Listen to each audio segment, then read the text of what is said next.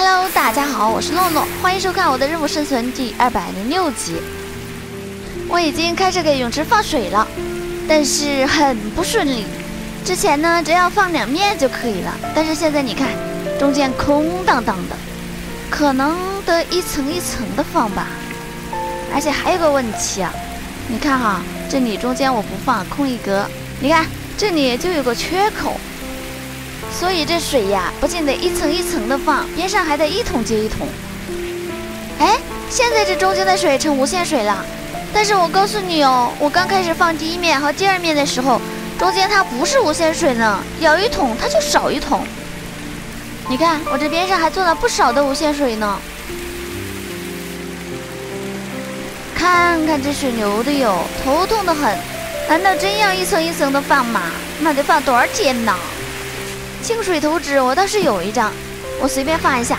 你看这五十叉五十的，比水池大好多呀。这池子最宽的部分也就四十左右吧。你说超过的部分怎么办？先拿方块填，然后再沉掉。这还不是浪费时间，实在不是个好主意。看来比较高效的办法就是给它量身定做净水图纸。反挡反挡，这次我居然没忘记存档，就很棒。先量一下尺寸，就到这里了。因为只能做成矩形的，不规则的地方最后补几桶水就可以了。做图纸还是挺容易的，十七差三十三，就这么大点儿。这鬼天气还下起雨来了，把图纸放上，检查一下通电。这个看着是真舒服呀。最后把不规则的地方补一下，折腾老半天，可算是好了。先休息休息。呜，可惜呀，一片黄沙，没什么景色可以看呀。如果把周围绿化一下的话，在这上面蹦来蹦去，又能观个景，还是挺好玩的。现在还不是享受的时候，继续干活，在这边上做几个扶梯。虽然扑通一声跳下去很方便，但上来有个扶梯还是好一些吧。三个宽应该差不多了。可惜这里盖住了我的灯，亮度也够了，不管它。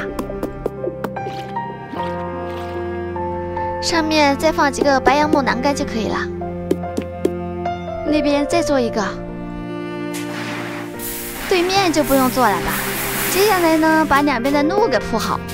底下照样铺上灯，上面铺半砖。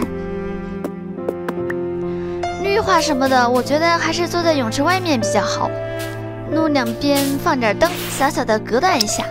先把沙子铲掉，然后铺小白砖，比泳池的路面高半格。然后在上面放点灯，呃，矮了点，还是像旁边的这个一样。灯下面放一个竖纹的方块。